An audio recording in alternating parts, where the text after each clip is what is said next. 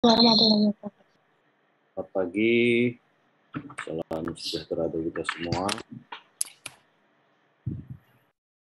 Sebelumnya saya mengucapkan minal aidin wal faizin, ya, mohon maaf lahir batin. Taqabbalallah.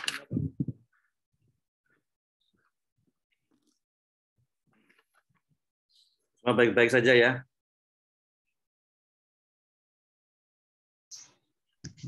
Alhamdulillah baik-baik saja, Pak.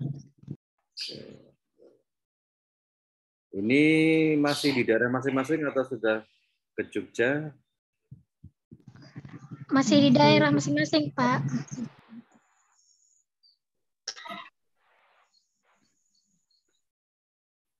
Sebagian ada yang di Jogja, Pak, nggak pulang kampung. Oke. ya. Siapa yang di Jogja? Ya Pak. Tahunnya. Wah. Saya Iya. Pak. Oh. Tiga. Dua orang. Oke. Kali ini kita akan memulai kembali setelah libur cukup panjang. Eh, Dan mungkin sebagian mudik juga. Kita akan memulai dengan diskusi tentang Poko ya, kalau nggak salah ya. Dan kalau nggak salah yang presentasi akan dua orang, betul nggak? Iya, Pak. Silakan share PowerPoint-nya.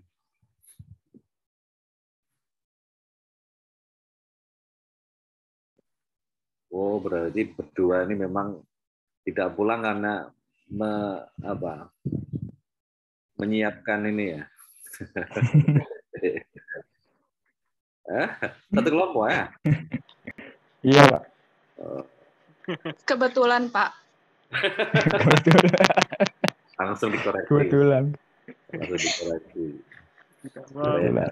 Ya. istri kedua. Oke, silakan.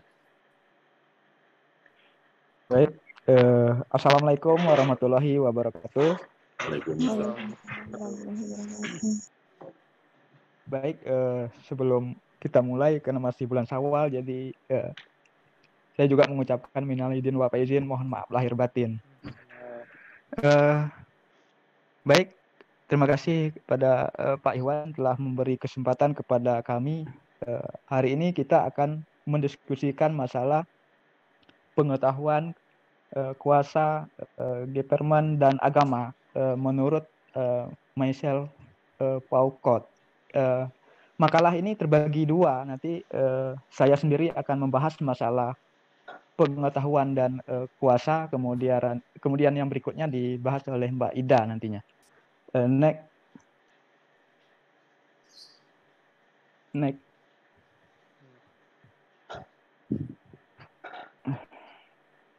Baik, eh, Michel Foucault adalah eh, salah satu pemikir eh, postmodernisme yang eh, menyumbangkan ide dan pemikiran khas yang cukup berpengaruh dalam perkembangan pertengahan eh, eh, pengetahuan manusia. Menurut Foucault, kekuasaan tidak Maaf, maaf. Saya harus eh, supaya nanti sejak awal eh, pronunciation-nya pas ya. Itu bacanya Michel Foucault. Michel Michel- Foucault. Foucault. Michel Fou- Fou- Foucault. Fou- Foucault. Foucault. Foucault. Michel Oke, Foucault. Pak. Foucault ya. Maaf, Pak. Baik. Menurut ini Pau Foucault, kekuasaan tidak dapat dipisahkan dengan pengetahuan. Kekuasaan menghasilkan pengetahuan dan pengetahuan dibentuk oleh kekuasaan. Nah, sebelum kita melihat eh, pemikiran-pemikiran tersebut, kita eh, akan melihat eh, siapa sebenarnya Michel Foucault dari dari mana asalnya? Next. Michel Foucault, nama lengkapnya adalah Paul Michel Foucault. Dia anak ketiga dari, dari tiga bersaudara. eh, kakaknya bernama eh, Pansenia dan adiknya bernama Denny. Eh, dia lahir di eh, Paiters, yaitu Perancis pada tanggal 15 Oktober tahun 1926. Kemudian ayahnya eh, seorang dokter ahli bedah. Eh, ibunya juga berasal dari eh, keluarga dokter ahli bedah. Artinya eh, beliau berasal dari keluarga dokter. Next. Cing. Apa? Paukot dilahirkan dan dididik di Prancis. Sejak kecil, beliau sudah belajar untuk berpikir kritis dan cermat. Di, di Prancis, mata pelajaran filsafat sudah diajarkan di, eh, di sekolah menengah atas dan universitas. Eh, mereka eh, apa? Mereka disi- disiapkan, mereka disiapkan dan menyiapkan diri untuk menjadi guru filsafat di sekolah sekolah nantinya. Singkat cerita, eh, Paukot pada akhirnya juga mengajar, eh, baik itu di sekolah maupun di eh, universitas. Eh, beliau mengajar di universitas eh, lintas negara seperti eh, Swedia, Jerman, eh, Rusia, eh, Tunisia, Amerika Serikat, Jepang, dan lainnya. Eh, jadi beliau tak jadi eh, tak heran bila eh, beliau menjadi seorang terkemuka di Perancis pada abad eh, 20 tersebut. Next.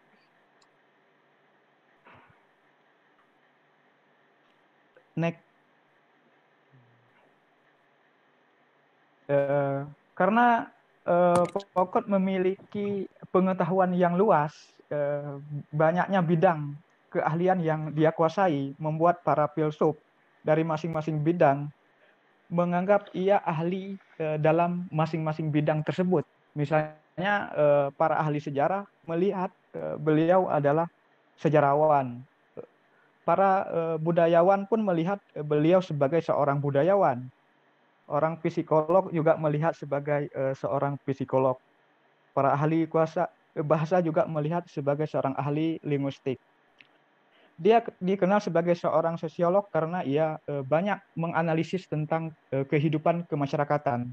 Dia juga dikenal sebagai seorang ak- akriolog, eh, politikus, kriminolog, ahli tentang penjara dan lain sebagainya. Eh, next.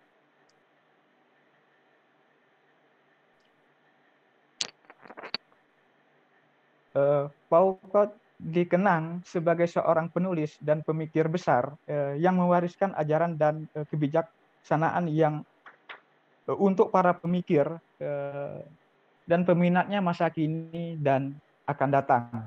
Lebih dari itu, pemikiran-pemikirannya yang kritis dan ter- terbuka sehingga menjawab eh, kebutuhan pembaca di Amerika Serikat yang sudah jauh lebih eh, terbuka dan kritis.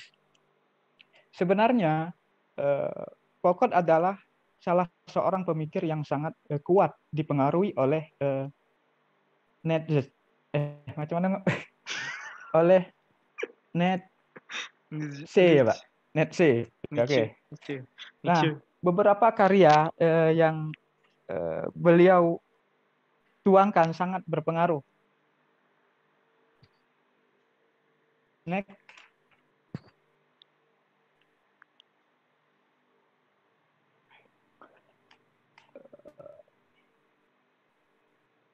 Ya, terdapat beberapa karya yang dipublis di- yang dipublikasikan eh, di antaranya eh, ada yang diterbitkan pada tahun 1975 kemudian dan seterusnya.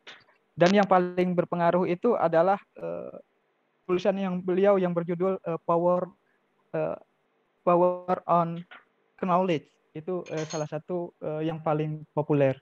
Eh, dari berbagai macam teori dan konsep yang disuguhkan dalam pemikiran beliau, eh, tulisan akan berfokus pada teori mengenai realisasi kekuasaan dan pengetahuan. Next. Next. Oke, pemikiran eh, myself eh, back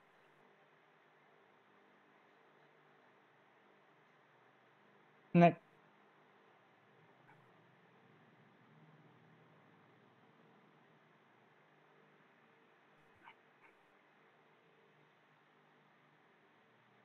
baik. Eh, pengetahuan ada slide sebelumnya belum ya mas? Mundur mas? Halo bisa mundur mas satu mas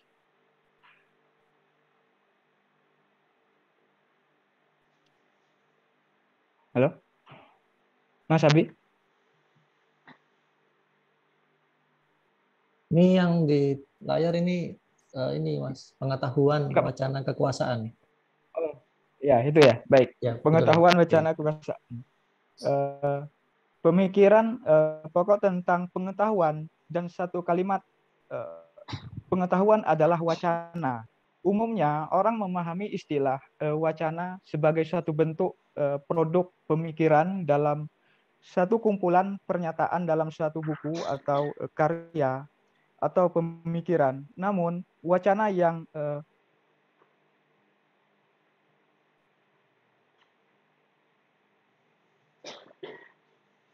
Nek, Mas.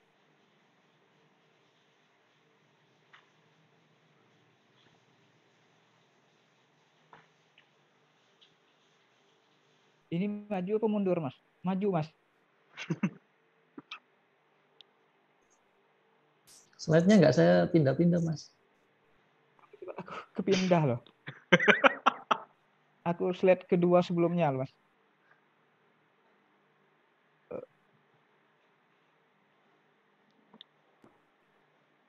Iya. Ini slide-nya tentang pengetahuan, wacana kekuasaan. Ah, Sama ya. Oke. Oke, eh, saya lanjutkan.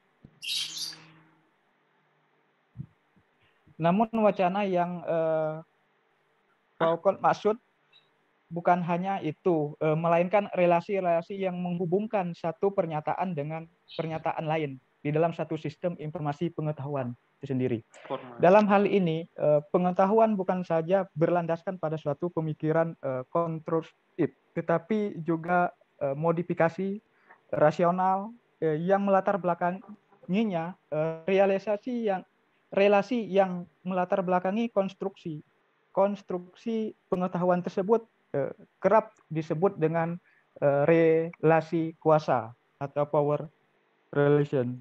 Menurut Michel Michel Michel Foucault bisa kita ungkapkan ada kekuasaan di balik setiap pengetahuan. Next.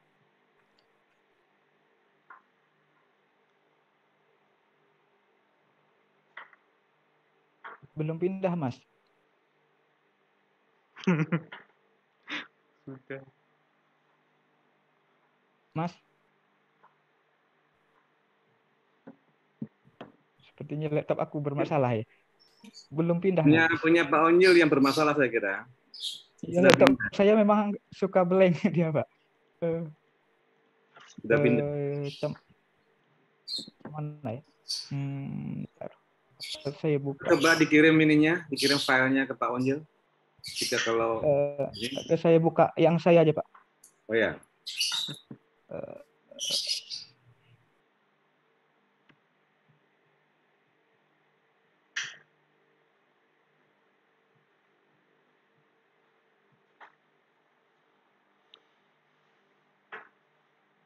Bentar.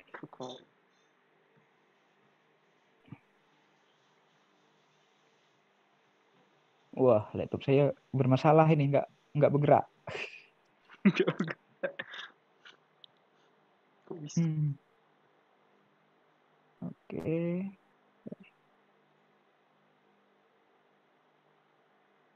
Tadi sampai mana?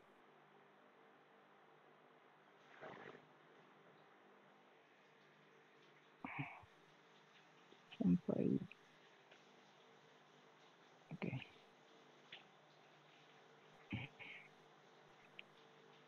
Baik, saya lanjutkan eh, tentang berarti slide berikutnya adalah pemikiran tentang kekuasaan. Jadi tentang wacana ya Pak ya. Baik, Ya. bagi eh,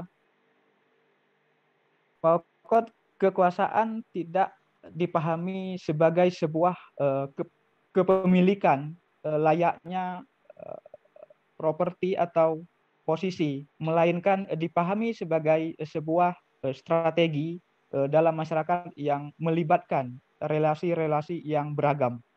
Kekuasaan tidak eh, berpusat pada satu subjek atau lembaga, melainkan eh, tersebar di mana-mana eh, dalam setiap relasi sosial.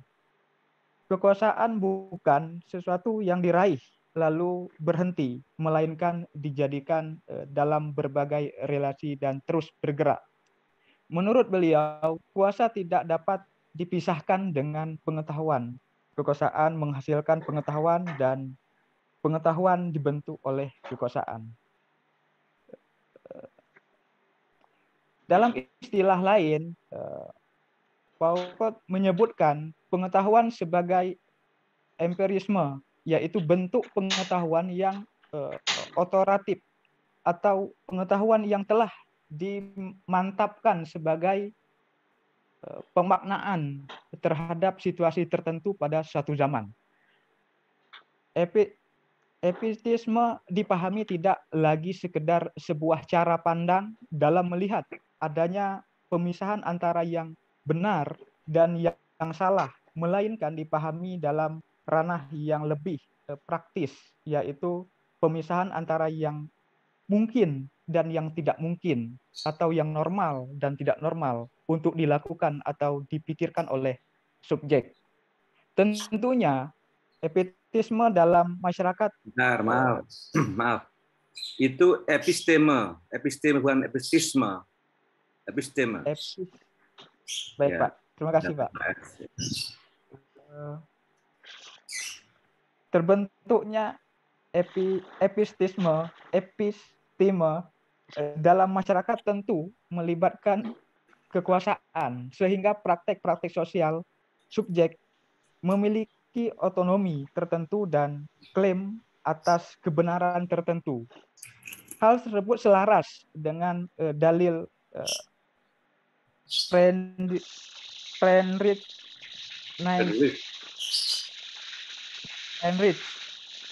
Nietzsche Nietzsche sebagai tokoh yang mempengaruhi eh, Paul, Paul Kott sebagai eh, bahwa tidak ada suatu kebenaran atau pengetahuan yang bersifat final atau universal.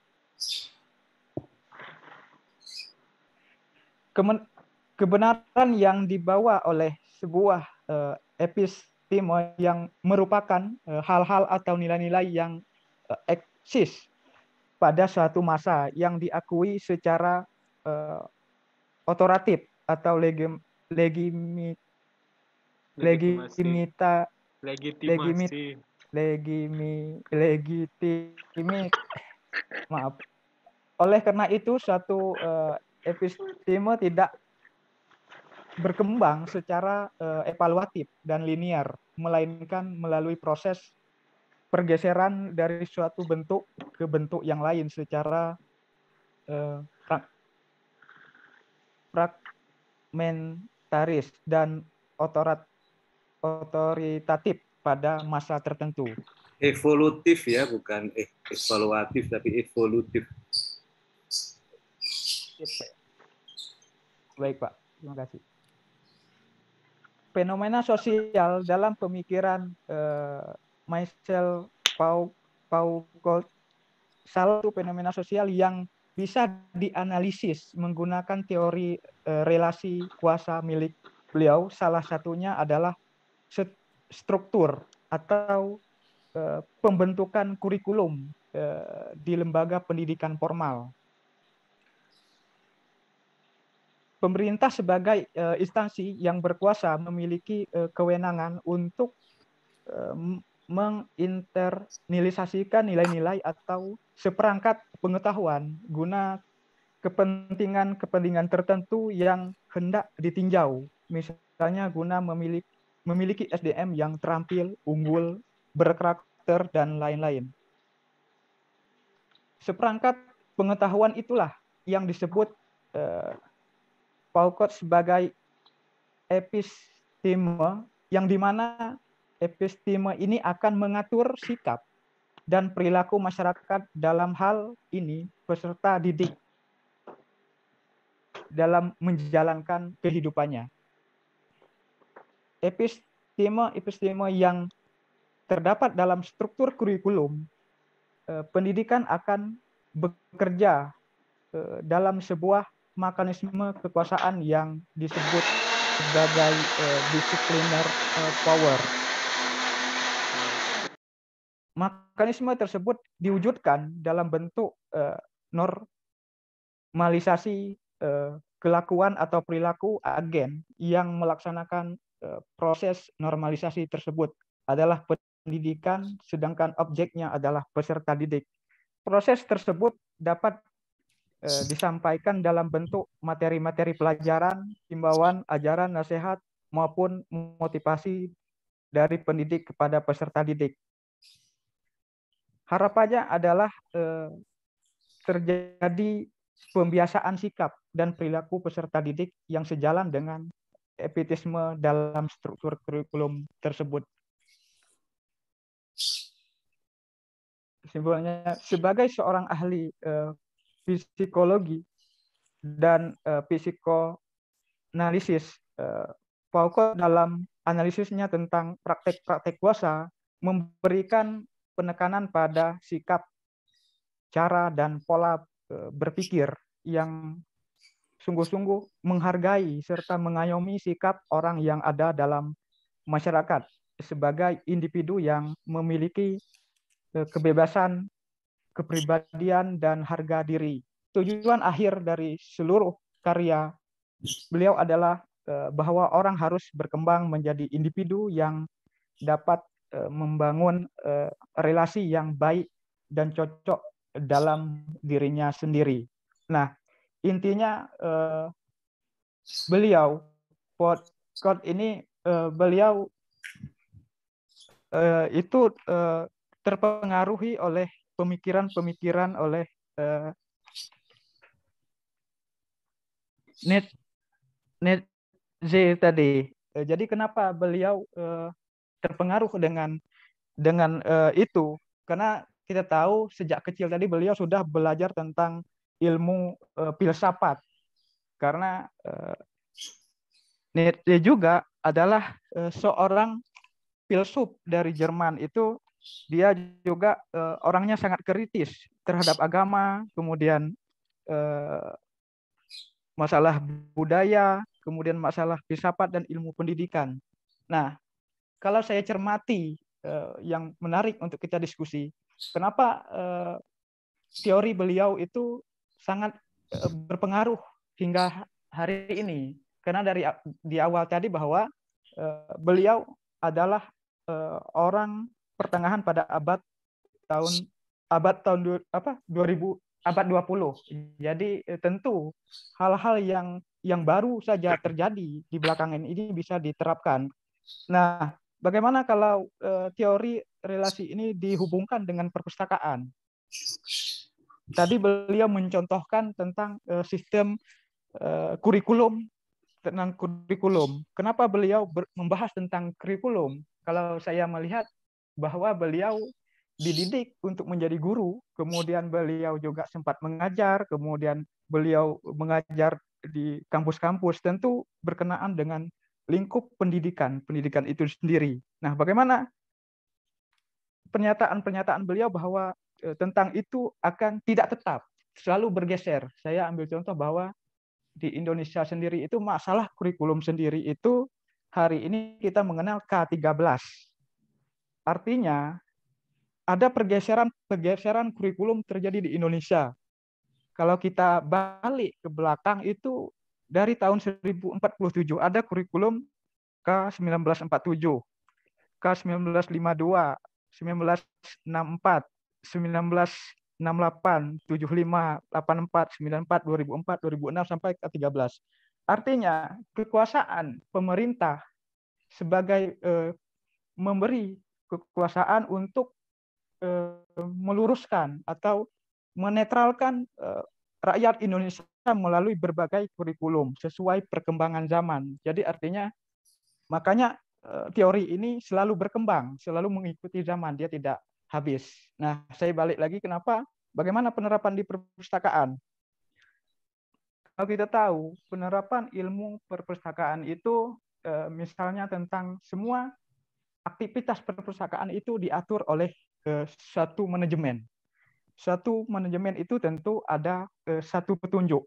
Satu petunjuk itu akan menghasilkan keinginan satu lembaga perpustakaan. Kita kita kenal istilah SOP Nah, apa pun bentuk kegiatan di dalam perpustakaan itu ada SOP. Ini sangat erat sekali dengan teori yang tadi itu, SOP. Misalnya SOP layanan. SOP layanan itu eh, bagi pemangku kebijakan di lembaga perpustakaan itu sendiri tentu dalam membuatnya tentu membutuhkan relasi.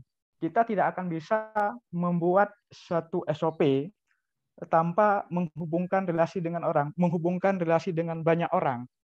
Kita harus eh, berdiskusi atau meniru atau mencontohin yang terbaik. Makanya eh, kemudian SOP itu selalu berubah. Nah, berubahnya SOP pelayanan perpustakaan itu tergantung siapa pemangku kebijakannya pertama. Yang kedua, eh, situasi tertentu juga bisa mengubah perkembangan zaman. Contohnya hari ini, misal kita ambil yang simpelnya, SOP eh, kunjung, pengunjung. Kalau dulu SOP pengunjung sebelum masa COVID tentu normal.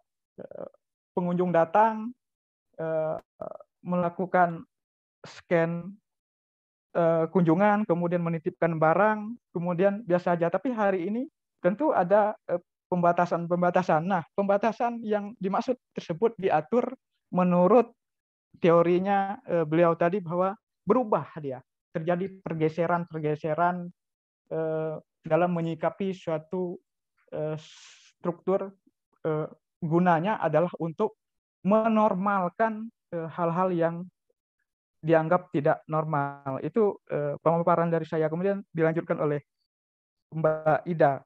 Terima kasih. Uh, baik, saya akan melanjutkan pemaparan uh, dari uh, Michelle Foucault ini uh, tentang governance dan agama. Uh, sebelumnya, uh, lanjutkan Mas. Uh, dalam semua karya tulis, kuliah-kuliah, dan wawancaranya, banyak para ahli yang tidak pernah menemukan figur uh, Foucault sebagai seorang teoris uh, politik kenegaraan atau yang mengajukan teori-teori besar tentang pemerintahan atau kepemimpinan dalam sebuah negara. Sebagai seorang pakar dalam sejarah tentang sistem-sistem berpikir manusia, ia justru membuat banyak analisis tentang peristiwa-peristiwa penting sejarah masa lalu dan melihat di sana bagaimana dan mengapa semuanya itu terjadi. Uh, langsung saja saya masuk ke dalam uh, apa namanya uh, tentang governance, yaitu uh, governance ini ialah tema kepemimpinan atau pemerintah dalam arti khusus governmentality. Ini baru mendapat tempat yang istimewa pada akhir karya Foucault.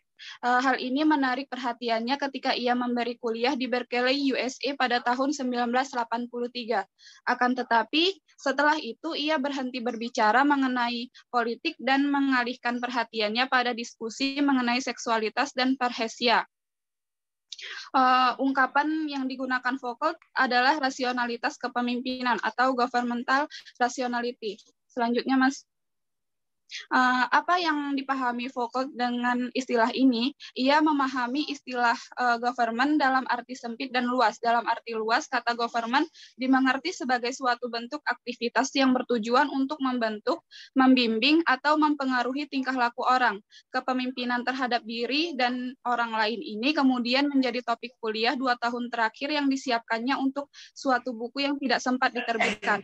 Kepemimpinan sebagai suatu aktivitas bisa mencakup relasi antara subjek dan dirinya, relasi interpersonal antar manusia yang mengandung sejumlah bentuk kontrol dan bimbingan, relasi-relasi antara institusi-institusi sosial dan komunitas-komunitas, dan juga relasi dalam kaitan dengan praktik kepemimpinan politis. Namun dalam kuliahnya tentang rasionalitas kepemimpinan, ia justru lebih berbicara mengenai kepemimpinan dalam bidang politik. Rasionalitas kepemimpinan ini kerap digunakan secara bergantian dengan eh, seni-seni uh, memimpin atau memerintah, art of government. Ia tertarik pada kepemimpinan sebagai suatu aktivitas atau praktik dan uh, pada seni-seni memimpin sebagai cara-cara untuk mengetahui apa saja yang dapat uh, yang terdapat dalam aktivitas itu. Oleh karena itu, rasionalitas kepemimpinan diartikan sebagai suatu cara atau sistem berpikir tentang sifat dan ciri praktik kepemimpinan. Siapa dapat memimpin, apa arti memimpin, dan apa dan siapa yang dipimpin. Uh, juga kemampuan membuat bentuk-bentuk aktivitas itu supaya dapat dipikirkan dan dipraktikkan, baik terhadap para praktisi maupun kepada siapa hal itu dipraktikkan. Dalam dua tahun terakhir sebelum kematiannya, Foucault menerapkan perspektif analisis ini pada beberapa bidang dan wilayah historis berbeda, antara lain dalam filsuf Yunani, terutama pada masa klasik sampai Kristianitas, tentang uh, sifat kepemimpinan dan ide-ide tentang pemimpin sebagai bentuk uh, kuasa pastoral doktrin-doktrin tentang kepemimpinan pada awal Eropa modern, awal masa liberalisme, abad ke-18 yang menekankan konsepsi tentang seni memimpin atau memerintah. Dan terakhir, eh, bentuk-bentuk pemikiran non-liberal setelah Perang Dunia II di Jerman, Amerika Serikat, dan Perancis yang dilihat sebagai cara-cara memikirkan kembali rasionalitas dalam memimpin atau memerintah. Kendati Foucault tidak pernah merumuskan suatu teori politik atau bentuk-bentuk serta sistem-sistem negara, para pakar Foucault dan para ahli dalam bidang-bidang terkait secara kreatif mencoba menerapkan analisis dan hasil pemikiran Foucault ini dalam kehidupan konkret sesuai dengan konteks hidup mereka. Berdasarkan hasil penelitian mengenai analisis Foucault tentang diskursus, diskursus negara kekuasa, direkomendasikanlah sekian banyak pemahaman dan teori yang bukan langsung berasal dari Foucault, melainkan dari bagaimana para pakar dan ilmuwan ini mencoba membaca dan menerapkan pemikiran Foucault sesuai dengan konteks konstelasi politik di setiap negara. Selanjutnya, Mas Selanjutnya ada agama. Menurut Foucault sendiri, kuasa dan pengetahuan merupakan dua keping mata uang yang tidak terpisahkan. Kuasa membentuk pengetahuan dan pengetahuan memproduksi kuasa. Agama sebagai pengetahuan memiliki kekuasaan yang sangat besar. Agama menimbulkan suatu tatanan masyarakat sesuai dengan pemahaman masyarakat tersebut tentang agama. Agama juga memunculkan organisasi-organisasi kemasyarakatan baik dalam lingkup kecil maupun lingkup besar organisasi dalam lingkup kecil seperti jamaah pengajian dan panti asuhan, yang uh, organisasi dalam menengah seperti ormas-ormas Islam di Indonesia, uh, organisasi dalam lingkup besar seperti kekhalifahan dalam sejarah peradaban Islam dan negara-negara berbasis Islam, dan awal terbentuknya karena pemahaman masyarakat tentang Islam seperti Arab Saudi dan Iran. Uh, dalam di dalam sejarah agama selalu bersinggung dengan kekuasaan. Agama menjadi pembenaran bagi kekuasaan sekaligus sang penguasa turut membangunkan agama yang mendukungnya. Dalam arti ini, agama adalah ideologi seperti yang dinyatakan oleh Marx. Agama adalah hasil dari hubungan-hubungan ekonomi yang dibentuk oleh penguasa. Lalu agama menjadi uh, alat pembenaran bagi hubungan-hubungan ekonomi tersebut sehingga uh, turut mendukung penindasan dan ketidakadilan yang sudah ada. Uh, sedangkan menurut Gramsci dan Althusser melihat bahwa bagaimana orang-orang yang ditindas uh, menginternalisasi penindasan sehingga mereka melihat sebagai normal, bahkan ikut mendukungnya. Sedangkan Foucault sendiri melihat pola yang lebih rumit, yaitu hubungan antara kekuasaan, wacana, pengetahuan yang akhirnya membenarkan kekuasaan yang ada. Sisi lain, kuasa dan uh, dengan sengaja tidak Eh, dengan sengaja atau tidak sengaja memproduksi pengetahuan yang mendisiplinkan tubuhnya sendiri. Misalkan sebuah negara dengan dasar atau asas negara tertentu secara langsung maupun tidak langsung membentuk pengetahuan yang tertuang dalam berbagai institusi sesuai dengan dasar negara. uh, negara komunis tentu akan menyuarakan sebagai macam pengetahuan dan informasi yang mendukung landasan negara tersebut. Pengetahuan tersebut terreproduksi secara teratur dan sistematis dalam berbagai bidang. Selanjutnya, Mas. Uh, selanjutnya ada kesimpulannya, yaitu dari Michael Foucault adalah so, adalah salah satu pemikir postmodernisme yang menyumbangkan ide dan pemikiran khas yang cukup berpengaruh dalam perkembangan pengetahuan manusia. Analisisnya yang kritis dan tajam tentang berbagai hal, sejarah, epitisme, epites, epistem, wacana, kekuasaan, dan pengetahuan mampu memberikan warna baru dalam pemikiran postmodernisme. Pemikiran Foucault tidak hanya tentang kuasa, pengetahuan, dan wacana, namun juga Foucault memiliki pendapat tersendiri mengenai pemimpin atau pemerintah, walaupun Foucault belum sempat menerbitkan bukunya yang berkaitan tentang pemerintah. Namun Foucault telah banyak menyampaikan analisisnya mengenai hal tersebut dalam perkuliahan dan wawancaranya. Uh, sekian dari presentasi kami. Uh, untuk teman-teman mungkin ada yang ingin disampaikan, ditambahkan, atau ingin bertanya, silahkan.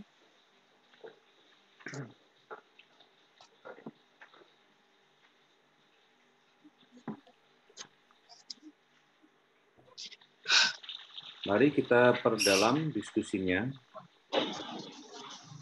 Silakan.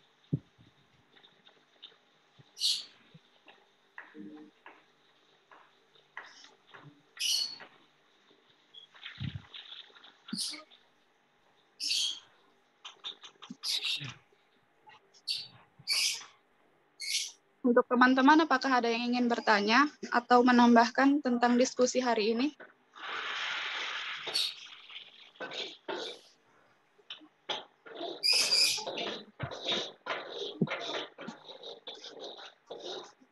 Belum, belum ada. Oke, kemarin. Ya. ya, silakan.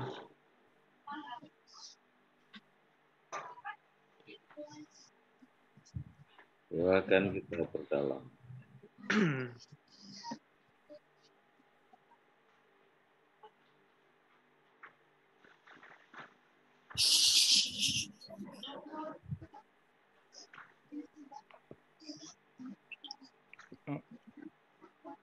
Halo. Ya. Iya, silakan Mbak. Eh, ya, Mbak Ida, uh, izin bertanya. Tidak boleh. Uh, ini Mbak, uh, menurut teori yang telah dipaparkan ini, uh, sebenarnya ini lebih merujuk ke ke bagian mana ya? Maksudnya ke kepemimpinan kah atau lebih ke arah-arah lain nih? Kalau misalkan kita menggunakan teori ini untuk perpustakaan, eh, seperti seperti yang tadi Mas Unyil sudah bilang, kalau yang saya tanggap ya lebih ke pemimpinan ya. Apa itu betul atau mungkin pemahaman saya yang salah? Mungkin boleh dijelaskan. Terima kasih.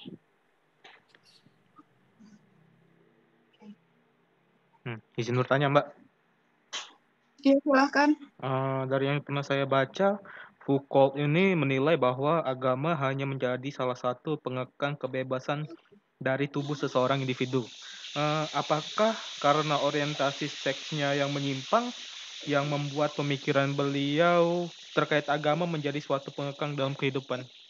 Apakah ada relasi antara orientasi seks yang dianut oleh Foucault ini terhadap pemikirannya bahwa agama itu hanya menjadi salah satu pengekang kebebasan tubuh seorang individu. Terima kasih. Baik, terima kasih Mas Alvin.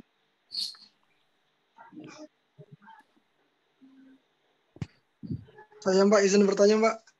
Iya, silakan Mas Silva. Oke, uh, berbicara tentang kekuasaan, uh, Foucault mengatakan bahwa uh, normalisasi menjadi suatu bagian dari kekuasaan. Kita melihat bahwa uh, pada saat ini kelompok LGBT yaitu gender yang yang mereka merasa bahwa gender LGBT LGBT ini merupakan gender yang harus uh, dinormalkan. Dinormalkan. Kita melihat kemarin bahwa uh, Deddy Corbuzier membuat sebuah uh, membuat sebuah apa namanya atau membuat yes. sebuah judul ya judul yang cukup kontroversi di dalam uh, apa video terbarunya di YouTube tentang gay ya tentang apa ragil itu tentang gay dari Jerman itu itu merupakan uh, menurut saya merupakan sebuah uh, kekuasaan merupakan sebuah tindakan-tindakan uh, kekuasaan yang berupaya yang upaya yang uh, kelompok LGBT ini upayakan untuk dinormalisasikan agar tercapainya kekuasaan mereka untuk mencapai gender baru di Indonesia khususnya. Jadi uh, Deddy Corbuzier ini dan kelompok-kelompok lainnya uh, berusaha untuk menormalisasikan bahwa ada loh uh, gender baru, misalnya transgender misalnya, ataupun gay misalnya, misalnya tentang uh, orientasi seks. Dan juga seperti yang dikatakan oleh Mas Alvin tadi bahwa Foucault ini merupakan uh, apa homo ya atau gay. Nah ini merupakan sebuah bentuk normal, normalisasi. Jadi bagaimanakah uh, uh, tanggapan Mas Unyil dan uh, Mbak Ida Mbak Ida mengenai uh, taktik taktik normalisasi pada kekuasaan yang dilakukan oleh uh, kelompok LGBT ini. Terima kasih. Mantap. Terima kasih Mas uh, Silva untuk pertanyaannya. Mungkin pertanyaannya untuk uh, sesi pertama kita buka tiga dulu ya. Nanti kalau misalnya ada uh, yang ingin bertanya kita buka sesi kedua.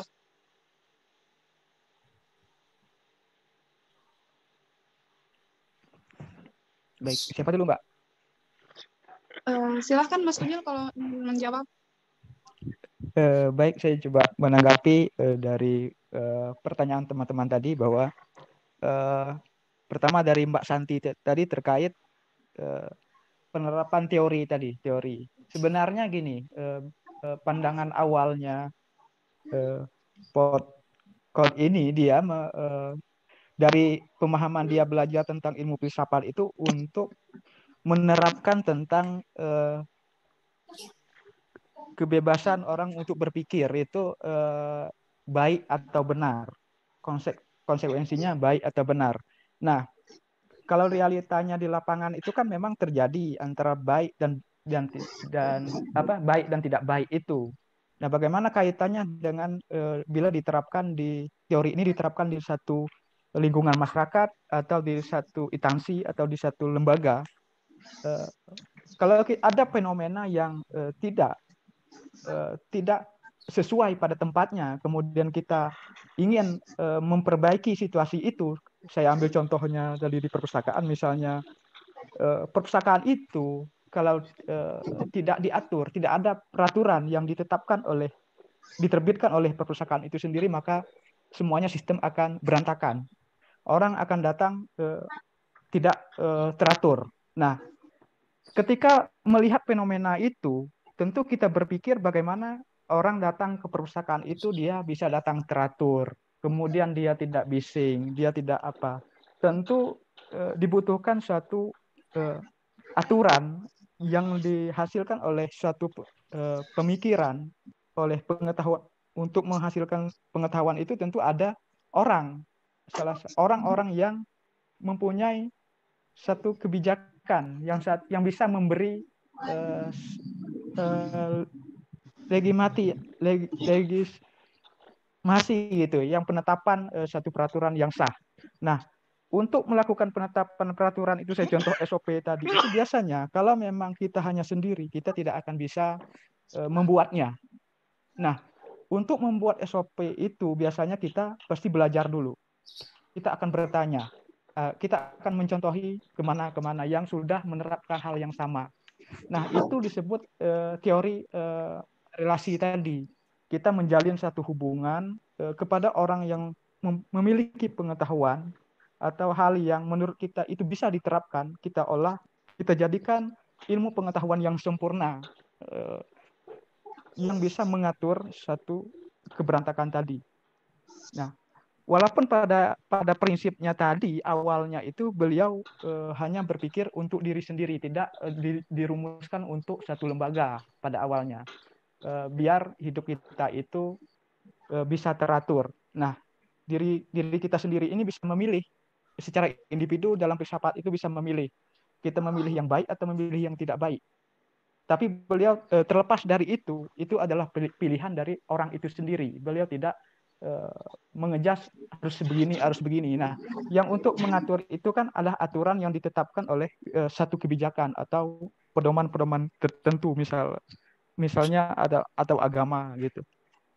Itu uh, menurut saya menanggapi itu. Kemudian untuk Mas uh, Alpin tadi uh, berkenaan dengan homo itu saya sempat mencermati bahwa memang uh, podcast ini pernah menelaah satu masa yaitu menelaah pada zaman uh, Romawi kuno itu. Pada zaman Romawi kuno itu terjadi seks bebas. Seks bebas itu beliau cermati, dianalisis itu kenapa uh, terjadi seperti itu. Faktornya apa? Ternyata orang melakukan itu adalah untuk memenuhi uh, kebutuhan uh, kepuasan diri kalau beliau berangkat dari pelajarannya filsafat beliau yang belajar di sekolah itu, ya, itu sah-sah saja eh, dilakukan eh, selagi itu memenuhi eh, kebutuhan individual itu. Sementing mereka bisa puas, bisa senang, itu sah-sah saja dilihat dari pandangan itu. Namun masalah seks bebas itu akhirnya dari masa ke masa seperti yang di, saya sampaikan tadi bahwa Eh, satu masyarakat pasti terjadi pergeseran. Pergeseran seperti masa, kemudian ada kepemimpinan, siapa yang memimpin di masa di periode tertentu itu pasti akan memperlakukan satu sistem yang memblok memblokir atau untuk mengatur tatanan baru yang dianggap bertentangan gitu. E, kalau kita lihat e, ratu apa Victoria itu yang dari dari Yunani itu dia ketika masa beliau, beliau bertentangan dengan masalah itu. Nah, begitu juga dengan Islam. Ketika agama Kristen dan Islam ini bertentangan uh, untuk memutarbalikkan uh, faktor yang tadi, yang masalah LGBT, masalah seks bebas tadi itu uh, dikaitkan dengan uh, agama, agama Kristen tentunya, uh, akan membatasi bahwa masalah itu adalah masalah tabu, tidak tidak pantas untuk di, di dibebaskan. Begitu juga Islam. Memang hari ini sampai hari ini masalah itu tadi tidak belum teratasi secara menyeluruh. Kenapa? Karena kembali kepada uh, individu yang merasa dia punya hak untuk mengatur. Kalau kita kenal di, di sistem Indonesia, pemerintahan Indonesia ini kan ada HAM. HAM itu kan hak asasi manusia. Namun hak asasi manusia itu kan kita bebas melakukan apa aja, tidak ada yang melarang. Tapi karena kita hidup dalam lingkup tatanan negara, maka kebebasan kita dibatasi, dibatasi. Begitu juga dengan masalah-masalah tadi. Jadi saya rasa pertentangan uh, terhadap itu karena beliau tadi hanya menganggap itu sah-sah saja, tidak dibenturkan dengan satu aturan agama tadi. Tapi setelah aturan agama di, di, diluncurkan oleh Eh, beberapa anu tadi oleh Ratu uh, Victoria dan agama Islam itu maka bertentangan jadinya bertentangan dengan dengan pemikiran beliau berdasarkan filsafat saja dari sudut pandang filsafat. Itu menurut uh, menurut saya mungkin nanti ditambahin oleh Mbak ini. Kemudian ini berkenaan juga dengan Mas Silpa tadi ya. Kalau Mas Silpa tadi apa Mas? Intinya Mas?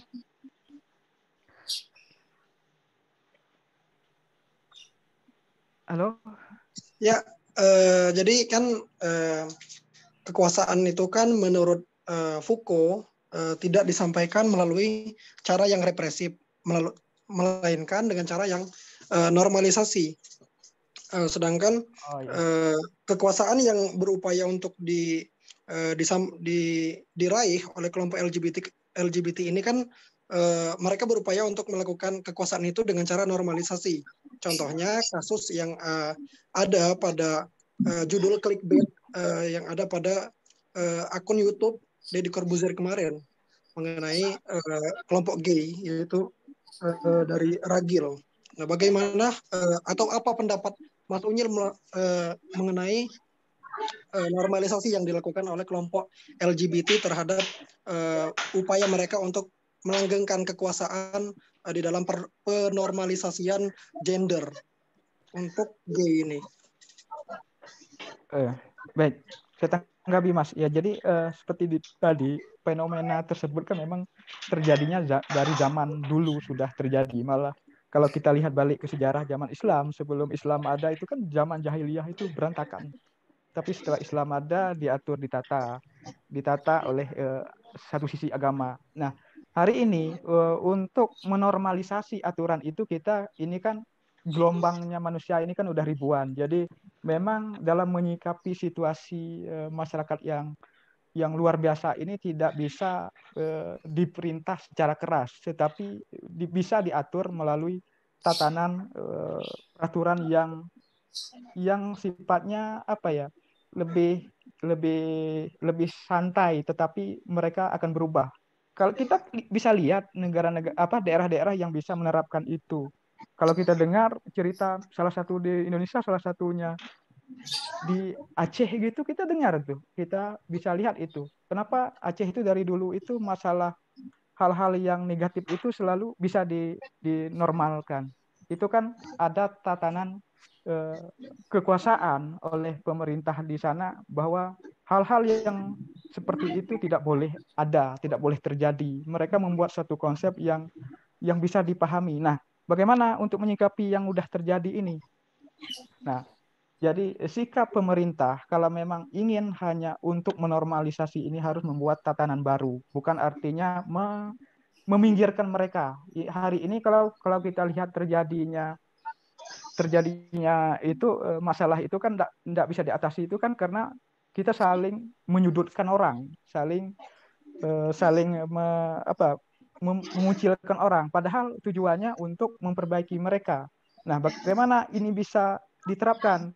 Kita bisa melakukan teori uh, relasi tadi. Tentu uh, pihak pemerintah, pihak uh, agamawan, pihak budayawan itu melakukan uh, ke daerah-daerah yang sudah menerapkan itu kalau kita pahami ya, kalau pemerintah itu kan sering istilahnya studi banding gitu.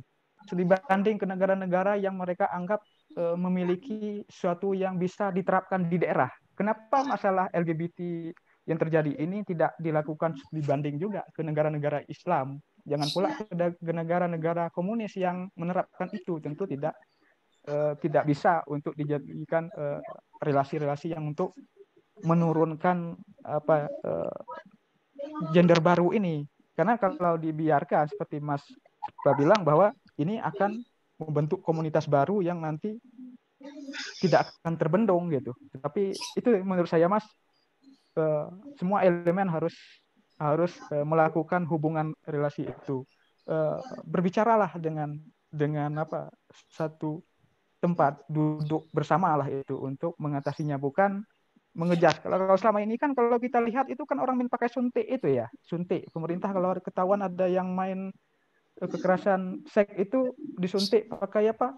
Cairan apa biar mereka uh, berhenti gitu. Bukan itu uh, menurut pandangan saya kalau untuk mengatasinya. Belajar ke daerah-daerah atau negara yang sudah tidak melakukan masalah itu. Itu mungkin dari Mbak Ida akan menambahkan. Makasih. Uh, terima kasih untuk Mas Unyil jawabannya. Mungkin saya akan menambahkan sedikit uh, jawabannya dari pandangan saya. Uh, nah, tentang pertanyaannya Mbak Santi, kalau misalnya di perpustakaan itu lebih ke pemimpin atau pemerintahan. Uh, di sini kita cari tahu dulu ya, apa bedanya pemerintah dengan memimpin. Uh, sedangkan kalau pemerintahan itu dia itu lebih ke urusan tentang negara dengan rakyatnya gitu.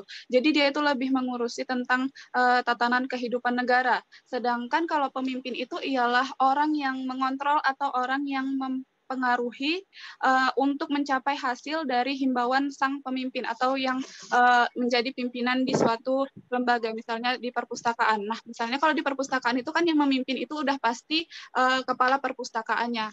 Sedangkan kalau pemerintahan itu ya itu uh, untuk kenegaraannya gitu, Mbak. Kalau dari pertanyaannya Mas Alvin itu tentang uh, apakah karena orientasi seks uh, vokal yang menyimpang atau homo yang membuat pemikiran beliau terkait agama menjadi suatu pengekang dalam kehidupan. Uh, sebelumnya kita lihat dulu tentang uh, apa namanya pada kepribadian Foucault sendiri, yaitu kecender sendiri ialah uh, kecenderungannya untuk menguak hal-hal yang menyimpang dan tabu tidak lepas dari kepribadiannya sendiri.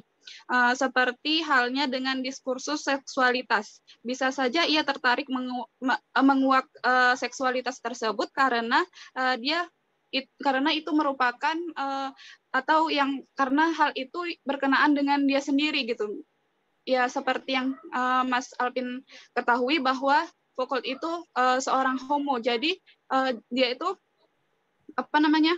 Uh, membuat itu tuh homo itu menjadi hal yang normal gitu. Dia tuh uh, apa namanya? Mem memiliki hasrat pribadi untuk mencari kebenaran agar dianggap tidak menyimpang da, eh, atas penyimpangannya. Nah, kan kita sendiri tahu bahwa homo itu ialah hal-hal yang uh, yang menyimpang kayak gitu kan atau hal-hal yang masih tabu gitu. Nah, sedangkan Foucault sendiri itu dia mencari tahu atau dia itu kayak membenarkan hal-hal yang seperti itu. Itu karena di dalam dirinya sendiri dia melakukan uh, hal yang menyimpang tersebut. Seperti itu. Jadi kalau dia uh, di dalam agama sendiri dia tidak tidak terlalu um, apa namanya tidak terlalu uh, menghubungkan dengan agama tetapi Foucault ini kalau yang dari pandangan saya dia lebih ke mempercayai apa yang ada di dalam dirinya sendiri bahwa uh, apa yang dipercaya di dalam dirinya sendiri yaitu merupakan kebenaran yang dianggapnya benar seperti itu. Nah, kalau untuk pertanyaan dari Mas Silva, mungkin itu uh, kan tadi pertanyaannya normalisasi uh, gay yang ada di Indo yang ada di Indonesia seperti yang uh, baru-baru ini uh, apa namanya viral atau baru-baru ini ditayangkan di YouTube-nya Deddy Kombuzer. Itu apa mendapat uh, banyak apa ya mendapat banyak uh, kritikan dari uh, netizen Indonesia ya atau dari eh, orang-orang uh, yang menonton tayangan tersebut. Nah, banyak juga yang menganggap bahwa itu sebagai sesuatu yang uh, salah gitu. Jadi memang sebenarnya uh, di Indonesia sendiri kan tidak menormalkan uh, apa gay dan lesbi itu ada di Indonesia. Namun tidak bisa kita pungkiri bahwa memang di Indonesia sendiri sudah banyak yang melakukan uh, gay itu sendiri. Jadi kalau misalnya uh, itu dalam pemerintahan, saya rasa pihak pemerintah juga melarang karena kan di Indonesia itu mayoritasnya beragama Muslim ya. Jadi kan kalau orang-orang Muslim itu sudah pasti tahu hukumnya uh, tentang uh, gay tersebut gitu. Walaupun banyak Eh, orang-orang Muslim juga melakukan uh, apa namanya seksualitas gay tersebut. Jadi kalau misalnya mau dinormalisasikan itu akan seperti uh, mendapat banyak apa namanya uh, pro dan kontra dari uh, warga Indonesia sendiri karena kan pasti sudah pasti itu banyak yang uh, menolaknya untuk dinormalisasikan di Indonesia ini seperti itu Mas Silva atau ada yang ingin menambahkan? Mbak Ida? Iya, Mbak Santi. Ya, Mbak, saya ralat tadi maksudnya bukan uh, ke pemerintahan, maksudnya itu ke pemimpinan dan kekuasaan. Nah, di dalam perpustakaan sendiri kan tadi ada semacam pembentuk kebijakan itu ya, seperti pembentukan SOP atau kebijakan yang aturan lain-lainnya seperti itu. Nah, uh, kekuasaan ini kan uh, berhubungan dengan kepemimpinan. Nah, di sini teori ini sebenarnya memang lebih ke kekuasaannya ya Mbak. Maksudnya yang memegang kuasa, tapi bukan uh, lebih ke condong ke pemimpinan. Seperti itu ya Mbak. Uh, Iya Mbak, kalau misalnya yang di teori Foucault ini kan dia sebenarnya itu bukan kepemimpinan tapi lebih ke pemerintahan. Jadi kalau untuk perpustakaan itu lebih ke kekuasaan seperti itu Mbak. Oh kekuasaan. Oke, terima kasih Mbak. Iya sama-sama. Mungkin dari teman-teman ada yang ingin menambahkan?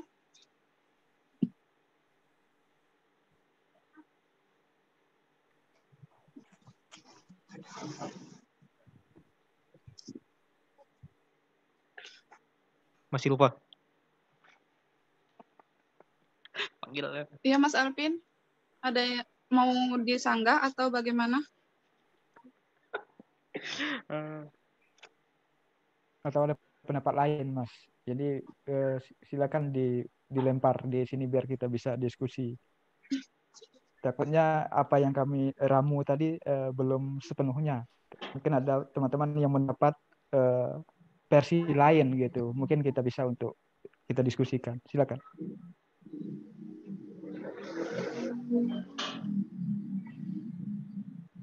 Baik, uh, sedikit berdiskusi ya mengenai uh, agama yang mengekang uh, seperti yang dikatakan oleh Mas Alvin tadi.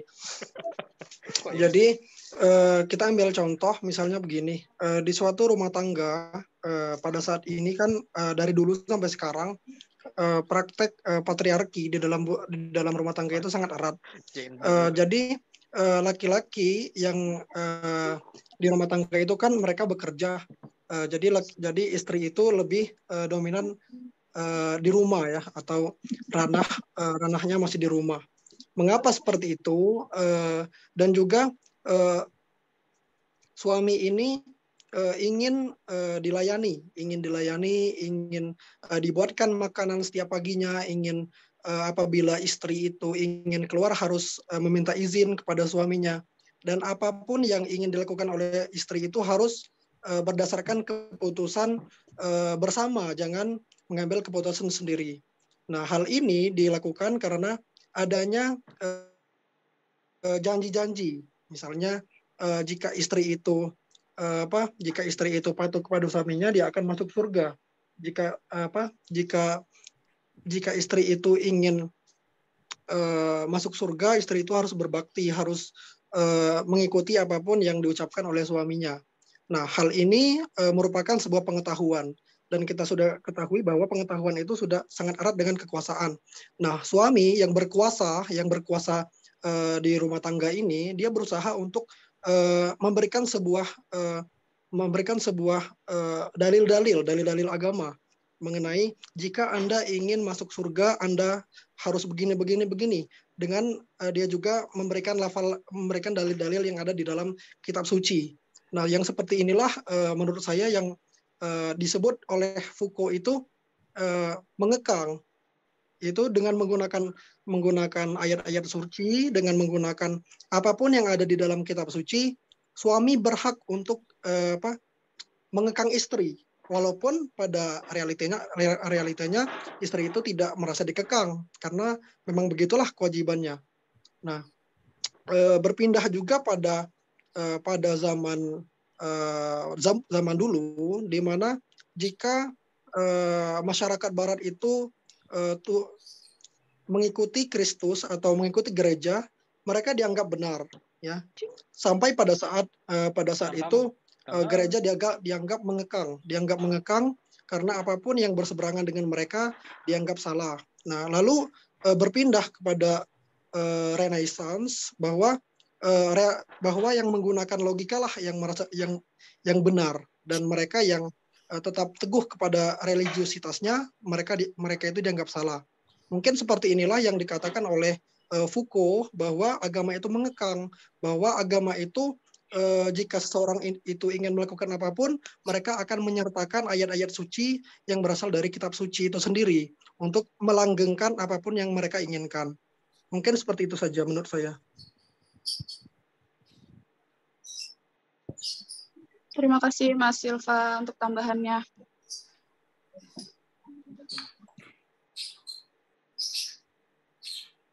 Oke.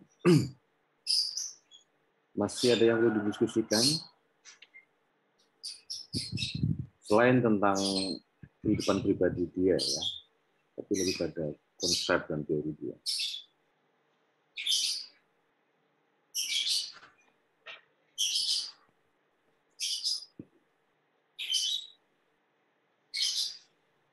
Cukup mungkin? Sepertinya sudah ada eh, tidak ada yang ingin didiskusikan lagi, Pak.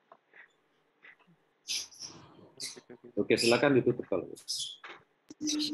Uh, terima kasih untuk teman-teman yang sudah memberikan uh, sarannya, pertanyaan juga uh, kritiknya. Mungkin ini akan menjadi uh, tambahan juga bagi saya dan Mas Unyil uh, di makalah uh, ini dan untuk selanjutnya mungkin akan ditambahkan oleh uh, Bapak. Saya kembalikan kepada Bapak. Saya tutup. Assalamualaikum warahmatullahi wabarakatuh. Waalaikumsalam. Waalaikumsalam warahmatullahi wabarakatuh. Ya, em, terima kasih. Tadi Pak Unyu dan Ida ya. Dan juga kawan-kawan yang telah merespon. Em, pertama cara melafalkan kata foko ya. Em, jadi sekaligus kita belajar cara melafalkannya. Jangan sampai nanti eh, apa namanya kurang tepat ya. Ya eh, meskipun ada T-nya itu T-nya hilang. Ini kan bahasa Prancis ya. Bahasa Prancis kan banyak yang sengau namanya tidak di dieja satu persatu fau kaul gitu enggak, enggak seperti itu ya Fuko. jadi Michel Foucault ya. Foucault Jadi tidak perlu fau kaul apa apa Foucault. jadi Foucault Fuko. Michel Foucault Em, ya memang teori dan apa eh, pemikiran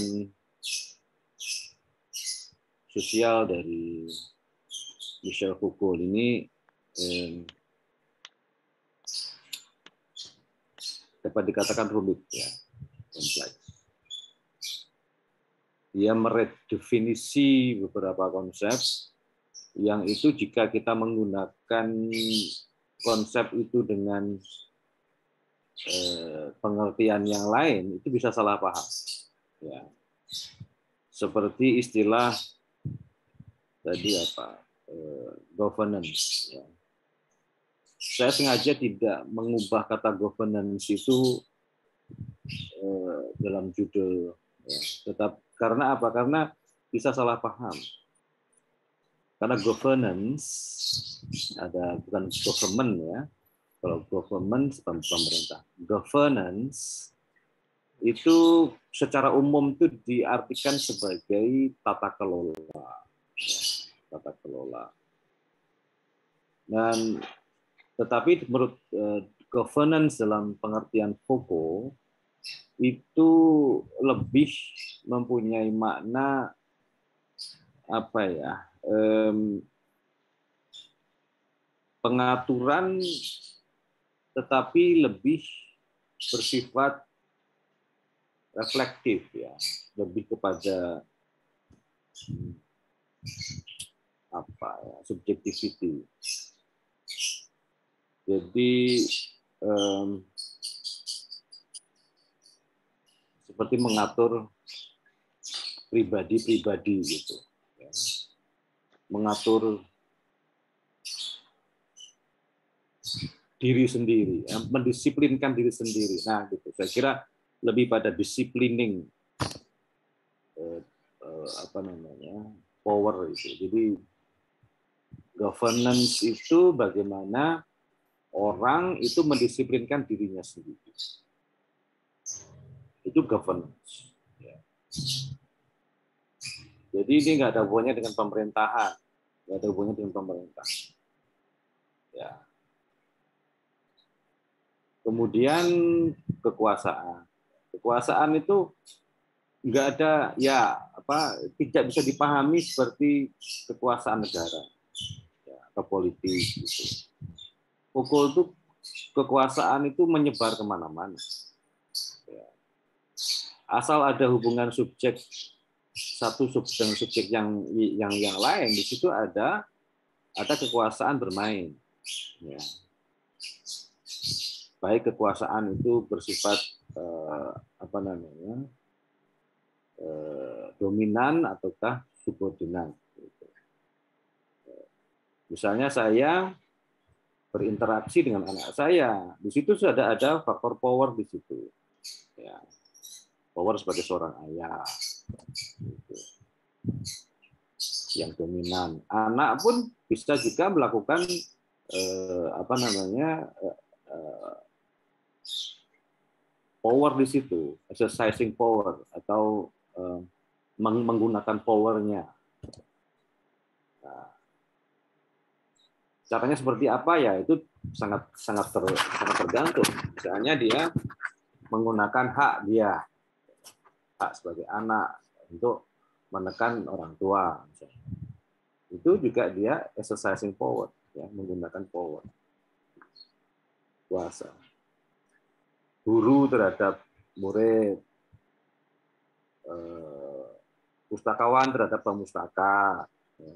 Atau sebaliknya pemustaka terhadap pustakawan karena mungkin karena hak merasa sebagai hak ya, hak sebagai mahasiswa, hak sebagai murid dan sebagainya. Jadi power itu ada di mana-mana menurut konsep eh, hukum. Ya. Jadi tidak dipahami sebagai sovereigning power, ya, sebagai powernya penguasa itu enggak. Ya. Jadi di mana pun ada relasi kuasa, ada hubungan dua orang, nah di situ sudah ada relasi kuasa, sudah ada kuasa itu bermain atau power itu bermain atau suami istri gitu itu sudah power relation ada di situ. Ya. Nah itu itu beberapa hal yang perlu dipahami betul kayak dengan Foucault ini supaya tidak tidak keliru dalam memahami. Nah tentang knowledge power, knowledge adalah power, power adalah knowledge. Itu harus dipahami dulu dalam pengertian yang sangat sederhana. Ya. Knowledge itu kan terkait dengan bahasa. Ya. Knowledge itu terkait dengan bahasa, pengetahuan terkait dengan, dengan bahasa. Manusia ini hidup dengan di dalam dan di dalam bahasa. Kita misalnya berinteraksi dengan bahasa kita menyuruh anak atau istri atau suami dengan dengan bahasa. Orang e, mengetahui kemauan orang lain terhadap diri kita atau sebaliknya itu juga dengan bahasa. Ya. Pengetahuan kita ini di frame juga dengan bahasa. Jadi kita tidak bisa eh, apa mempunyai pengetahuan itu tanpa ada bantuan bahasa. Nah, lebih seperti itulah. Gitu ya. Jadi kita mengetahui apa pun ketika kita ingin mengungkapkan itu pasti dengan bahasa. Oleh karena itu orang yang tidak bisa eh, mendengar itu biasanya nggak bisa tahu bahasa. Itu nanti berdampak juga pada pengetahuan dia tentang hal-hal lain apalagi hal-hal yang kompleks yang konseptual apalagi filosofis itu rata-rata tidak mempunyai kemampuan itu ya. um, tentu ada orang-orang uh, jenius yang, yang bisa seperti Beethoven itu kalau nggak salah dia adalah seorang yang sebenarnya eh, apa namanya tuna tunarungu ya tapi karya-karyanya adalah karya-karya jenius. Ya. Nah, tapi itu karena ada bantuan pengetahuan tentang not, not, balok dan sebagainya. Um, nah, jadi ada hubungan antara bahasa dengan pengetahuan. Dan dengan demikian juga dengan kuasa atau kekuasaan itu. Ya. Kekuasaan itu dilakukan melalui medium bahasa. Kemudian juga tentu saja kemudian pengetahuan itu adalah kuasa itu sendiri. Seperti eh, apa? Eh, ya kalau pustakawan ingin supaya eh, pemustaka itu apa namanya eh, tidak bising ya nggak bikin gaduh dan sebagainya itu medianya apa selain bahasa ya medianya bahasa baik tertulis maupun di secara tulisan ya.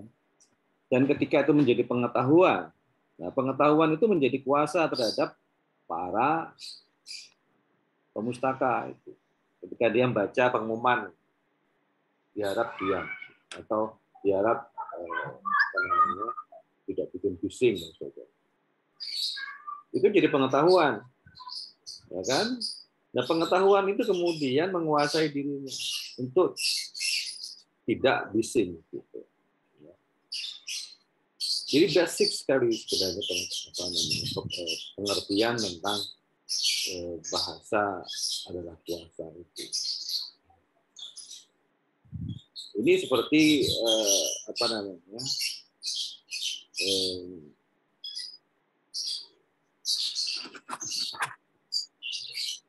seperti suami istri yang mendiskusikan problem-problem keluarga ya. itu melalui bahasa dan kemudian itu menjadi pengetahuan bersama dan pengetahuan bersama itu kemudian mengatur diri mereka. Ya kan? Diskusi gitu. Ini seperti ketika kita berbicara tentang apa namanya eh, dalam konteks Durkheim ya kesepakatan-kesepakatan yang kemudian mengikat pada orang-orang yang bersepakat itu. Foucault ini poststrukturalisme, ya. tetapi eh, dia diinspirasi oleh eh, pemikir-pemikir sebelumnya juga, ya. Dari Foucault dia apa dari dari dari eh, Weber dia mengambil atau diambil dari dari Durkheim ada yang diambil kemudian dari Nietzsche dari dia, dia ambil juga gitu. ya kemudian dia rum, ramu menjadi eh, filsafat dia sendiri pemikiran dia sendiri dengan cara melakukan redefinisi dan sebagainya itu nah itulah kemudian eh, masuk dalam konsep yang disebut sebagai episteme tadi ya. episteme itu adalah eh, pengetahuan tertentu di dalam ruang waktu tertentu. Jadi eh, episteme pramodern ya, itu berbeda dengan episteme masa modern. Episteme abad pertengahan berbeda dari episteme abad misalnya enlightenment. Apalagi eh, sekarang ya post post truth itu. Maka epistemenya itu beda, berubah. Gitu. Jadi untuk mengetahui bagaimana episteme suatu eh, masa, suatu zaman, suatu eh, tempat tertentu, ya harus melakukan apa yang Louis Foucault sebagai eh, apa namanya of knowledge ya. Dia harus menggali pengetahuan yang ada pada masa itu, seperti aktivitas seorang arkeolog yang menggali tanah untuk mengetahui ini sebenarnya eh, atau bahan ini artefak ini muncul pada abad berapa ya, dengan menggali tanah itu dan melihat struktur tanahnya oh ini abad ke misalnya ini seribu tahun lalu atau dua ribu tahun lalu dan seterusnya. Ini kerja arkeolog seperti itu dan Foucault memperkenan, memperkenalkan archaeology of knowledge ya, bahwa kita bisa menggali pengetahuan tentang masa lalu ya, yang disebut sebagai episteme itu. Ya. Dan episteme itu eh, bersifat ada yang kemudian disingkirkan, ya, pengetahuan yang disingkirkan. Ada juga pengetahuan yang menjadi dominan. Di dalam perpustakaan saya kira juga juga juga juga ada tentang pengetahuan yang dominan dan pengetahuan yang disingkirkan. Ya, dalam dunia perpustakaan, saya tidak tahu uh, persis ya apa ya, dalam agama banyak. Gitu. Ya. Bagaimana kemudian ketika munculnya malhab, maka kemudian eh, pendapat A ini lebih diunggulkan, pendapat B dan seterusnya itu disingkirkan. Nah itu untuk tahu itu harus masuk ke periode-periode itu. Dia dia kali itu untuk mendapatkan episteme pada eh, pada masa itu. Ya. Demikian juga pengetahuan yang muncul selanjutnya atau selanjutnya selanjutnya. Ini juga bisa, maka kemudian dia sebagai seorang historian itu di antaranya karena dia dengan konsep uh, archaeology of knowledge atau genealogy of knowledge, melacak suatu pengetahuan. itu dianggap ya sebagai seorang historian juga. Ya. Itu historian pengetahuan, intellectual history. Eh, dan pengetahuan-pengetahuan Foucault ini banyak sebenarnya digali dari eh, pengetahuan histori ini. Nah, terkait dengan governance itu, itu sebenarnya adalah penelitian Foucault terhadap penjara ya, abad ke-17-18. Ya. Di mana waktu itu muncul penjara yang dianggap sebagai penjara yang konsep penjara yang sempurna yang disebut sebagai panoptikon. Panoptikon itu penjara berbentuk melingkar begitu. Kemudian eh, penjara itu ada di pinggir, pinggir lingkaran itu, eh, gedung-gedungnya eh, melingkar tinggi bertingkat gitu. Nah, penjaranya itu menghadap ke ke tengah. Dan di tengah ini ada ada apa? Ada struktur juga bangunan di tengah yang itu dia bisa melihat ke ke, ke sekeliling ya. Dia bisa di orang berada di tengah itu bisa melihat keluar tapi orang luar tidak bisa melihat ke dalam. Dengan demikian apa? Orang yang di penjara itu merasa diawasi terus oleh orang yang di tengah. Yang sebenarnya belum tentu ada. Karena orang luar nggak bisa melihat, sementara yang dari dalam bisa melihat itu para orang yang di penjara itu bisa merasa diawasi terus. Meskipun orang itu tidak ada. Dan karena merasa diawasi itu dan karena ada disiplin and punish salah, salah satu bukunya disiplin and punish kalau dia tidak melakukan tidak mendisiplinkan dirinya maka dia akan dipunish atau di, eh, di disiksa atau diberi sanksi. Maka dia mendisiplinkan dirinya. Nah, itulah konsep governmentality. Ya. Pendisiplinan diri atau kalau menggunakan kata kepemimpinan adalah ah, nah ini kata kepemimpinan juga bisa salah salah paham juga ya karena pengertian kepemimpinan yang dulu dengan kepemimpinan yang beda. Jadi memimpin diri sendiri untuk mematuhi ya, atau mendisiplinkan diri untuk mematuhi eh, apa namanya eh, yang disebut sebagai disciplining power itu. Ini bisa saja bentuknya pemerintah bisa saja. Ada satu konsep oleh Foucault yang disebut sebagai biopower, biopower atau kuasa bio kuasa bio bio bio itu terkait dengan dengan eh, diri masing-masing orang ini seperti pada masa eh, orde baru itu masyarakat dihimbau bahkan agak dengan paksa ya untuk uh, ikut program KB ya keluarga berencana sampai kemudian alat ayat kontrol kontrasepsi dan sebagainya itu di, diatur oleh negara. Ini sebenarnya yang dilakukan negara adalah untuk mengontrol jumlah populasi ya, supaya manusia orang Indonesia itu jumlahnya tidak meledak jumlahnya. Nah, tapi ini juga kemudian menjadi cara negara untuk mengontrol individu-individu. Ya, bahkan di dalam ranjang pun itu merasa diatur oleh negara gitu. dipakai kontrasepsi apa ya itu seakan-akan ya seakan-akan negara tuh hadir di pojok-pojok ruangan mereka.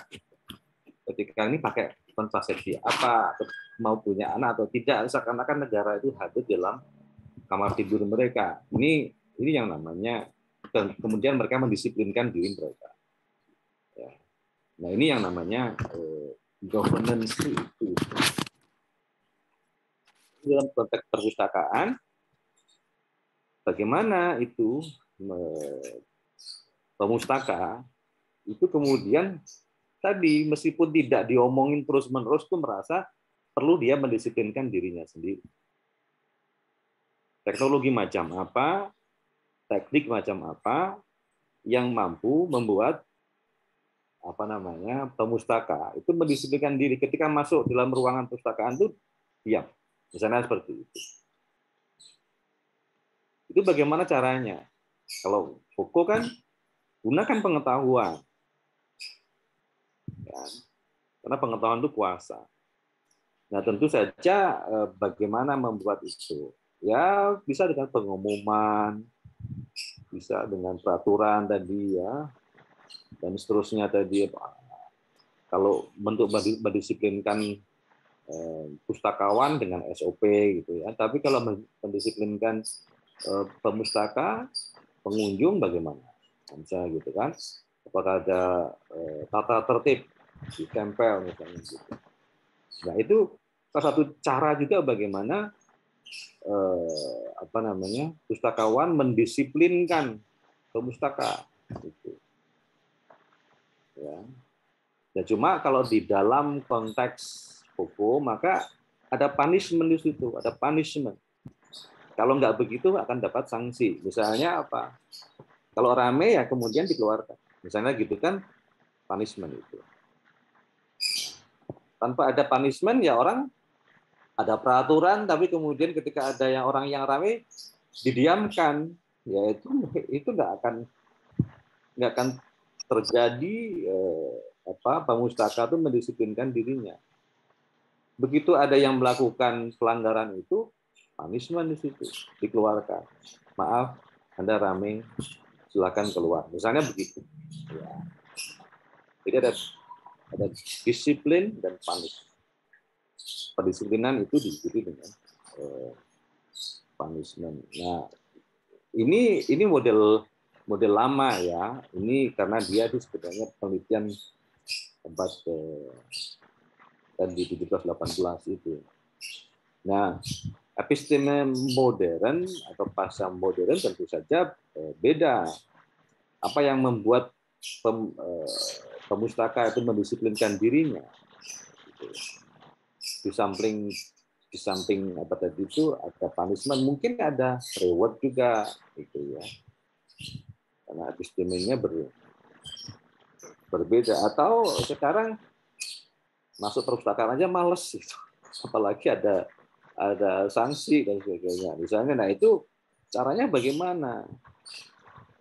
Ya. Nah itu kembali kepada eh, masalah knowledge power tadi itu. Nah selain itu eh, menurut Foucault setiap masyarakat ya itu ada yang disebut sebagai regime of truth ya regime of truth ya, atau rezim kebenaran. Dan ini nggak ada hubungannya dengan agama atau pemerintah gitu ya. Meskipun rezim kebenaran itu bisa saja agama bisa juga pemerintah tapi tidak hanya itu ya. Apa pun yang kemudian eh, menjadi pengatur pendefinisi kebenaran dalam suatu masyarakat itu regime of truth.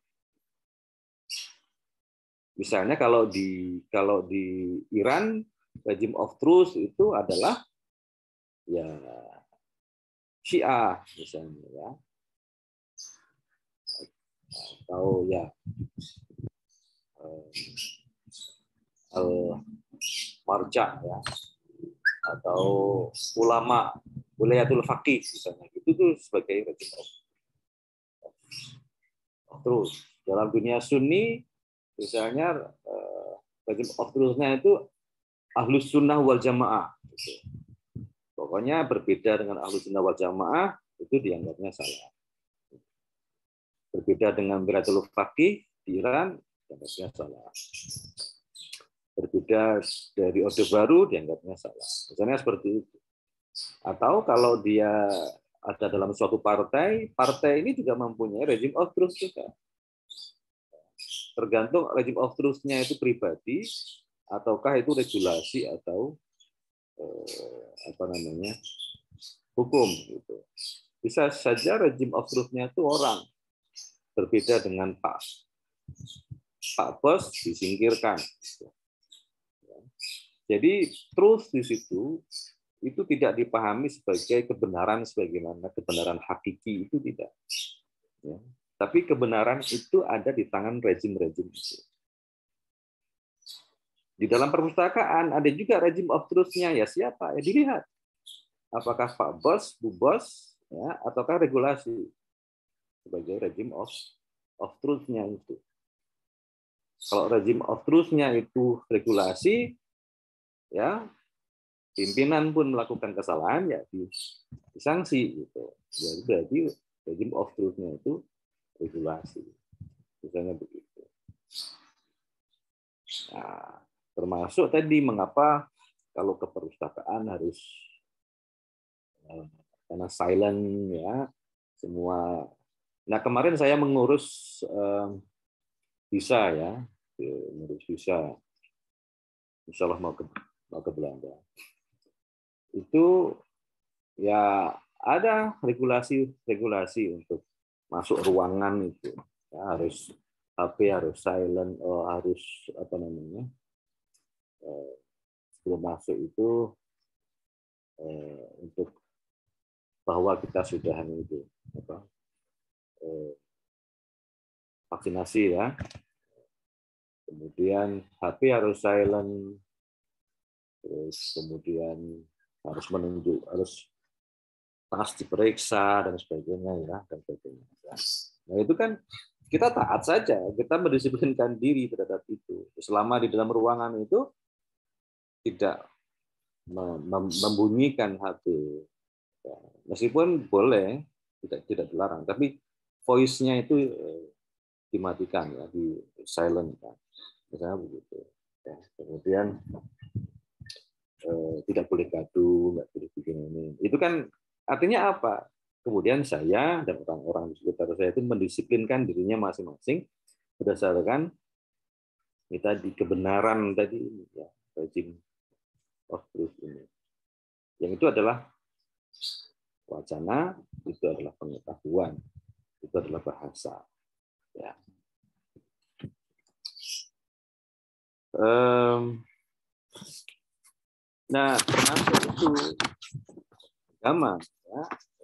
Bagi Foucault agama kalau di suatu masyarakat itu agama sebagai rejim of truth ya agama itu yang akan mendefinisikan kebenaran atau tidak. Dan dalam prakteknya itu kan sebenarnya itu bukan agama itu sendiri tapi agamawan sebenarnya sebagai rejim of truth karena agamawan inilah yang kemudian menafsirkan dan menganggap tafsiran yang paling benar ini gitu ya. Jadi regime of truth itu dilanggengkan dengan argumentasi, argumentasi keagamaan, kitab suci, atau eh, apa namanya kutipan-kutipan dari para ulama atau agamawan hmm. gitu. Nah, itu eh, kenyataannya memang adalah kemudian berada di tangan lembaga-lembaga keagamaan, orang-orang dan sebagainya. Ya.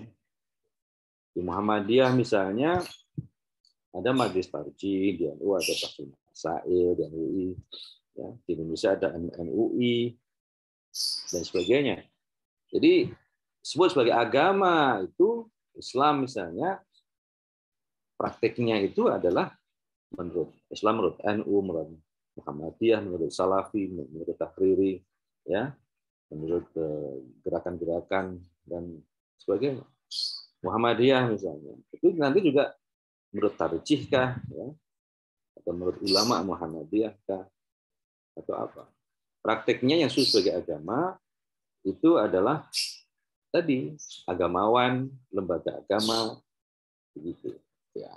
Meskipun semuanya sama merujuk pada Quran atau hadis tetapi Quran dan hadis sebagaimana yang dipahami oleh agamawan dan lembaga-lembaga agama gitu ya. jadi orang mendisiplinkan diri berdasarkan agama itu ya tadi berdasarkan penafsiran ulama atau agamawan pada lembaga agama tertentu.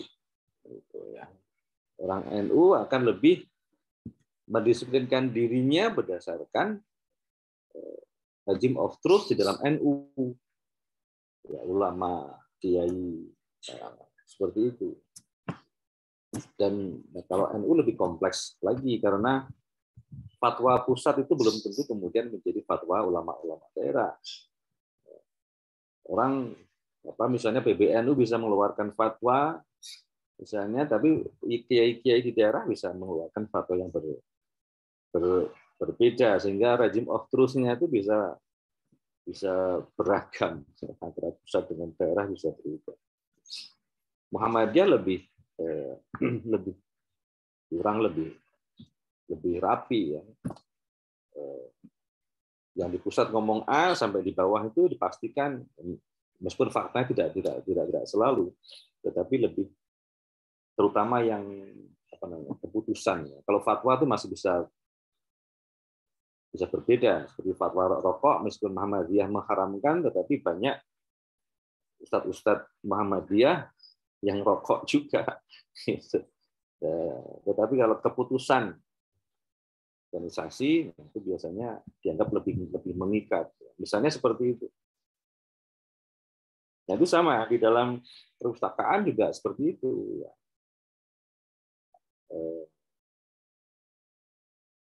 jadi kalau dalam studi perpustakaan, ya bedanya itu. Kalau tadi itu kan terpraktek di perpustakaan. Tapi bagaimana studi perpustakaan, studi sejarah perpustakaan, atau studi tentang konsep perpustakaan pada abad 19 misalnya. Ya. Nah tentu itu menggunakan pendekatan taruhlah tadi sejarah intelektual atau eh, archaeology of uh, knowledge-nya uh, Foucault itu misalnya begitu. Nah, atau juga ingin mengetahui tadi episteme, pengetahuan, perpustakaan, abad taruhlah abad pramodern atau sekarang kalau ingin mengetahui sebenarnya apa sih sebenarnya episteme perpustakaan eh,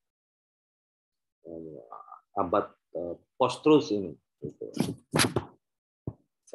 ya itu bagaimana pengetahuan-pengetahuan yang dianggap otoritatif ya, yang kemudian menjadi dominan pada abad sekarang. Gitu. Itu apa? Misalnya perpustakaan itu mesti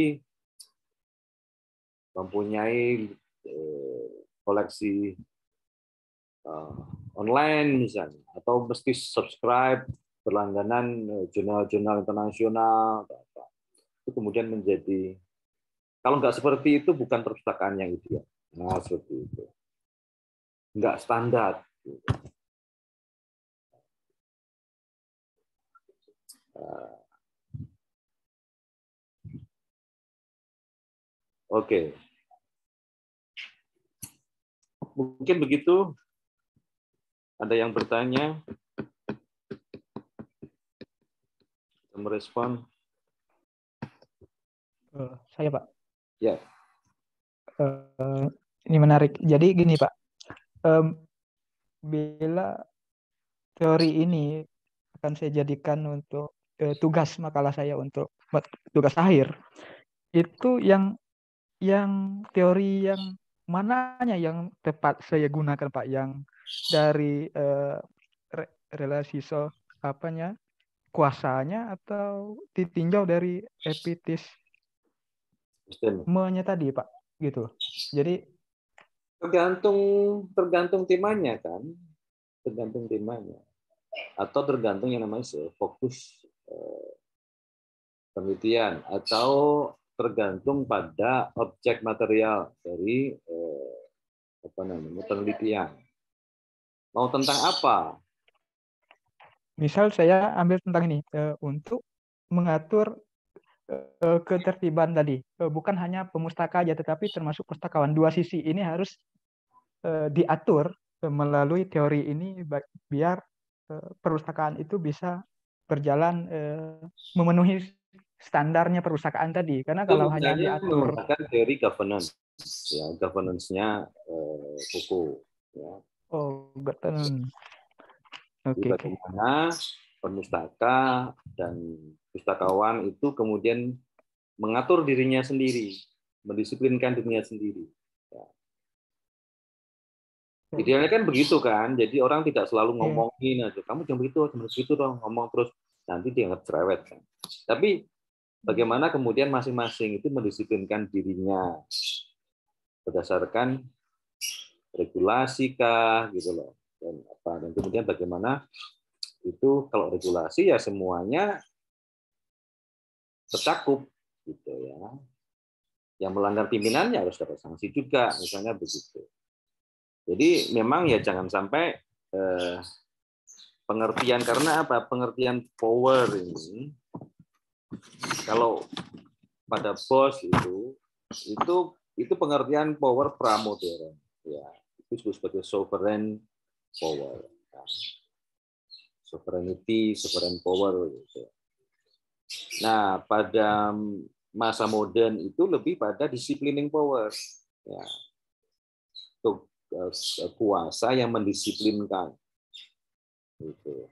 Nah tentu saja misalnya saja kan apa tentu dibaca apa itu governmentality ya konsepnya daripada governmentality ya governmentality perspektif governmentality Foucault misalnya seperti itu. Jadi bagaimana kemudian masing-masing itu kemudian mendisiplinkan dirinya masing-masing tanpa harus kemudian selalu di ya tentu saja tahapan-tahapannya bisa diatur lah strateginya. Tapi eh, intinya pada bagaimana masing-masing itu bisa mendisiplinkan sendiri. Baik dengan punishment maupun dengan reward juga atau atau apa gitu ya reward and punishment eh, supaya eh, apa namanya masing-masing mendisiplinkan dirinya itu. Dan tentu itu harus harus ada argumentasi argumentasinya ya. karena apa? Karena yang yang diatur itu kan manusia. Manusia itu tadi kekuatan pengetahuan kan itu ya. Kekuatan pengetahuan itu aturan itu harus argumentasinya jelas. Filosofinya apa sih kita mengatur ini misalnya? Itu harus harus harus harus jelas sehingga orang eh, apa namanya mendisiplinkan dirinya itu bukan karena suatu keterpaksaan atau apa itu ya. Tetapi karena memang mem- memahami filosofi di balik itu memahami argumentasi di balik itu gitu ya. itu jadi eh,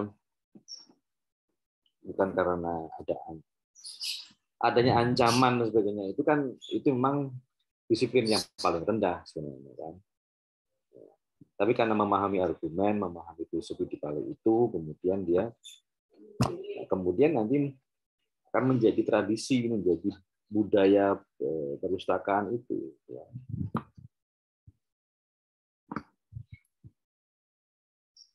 ya mungkin itu mentality. Ya.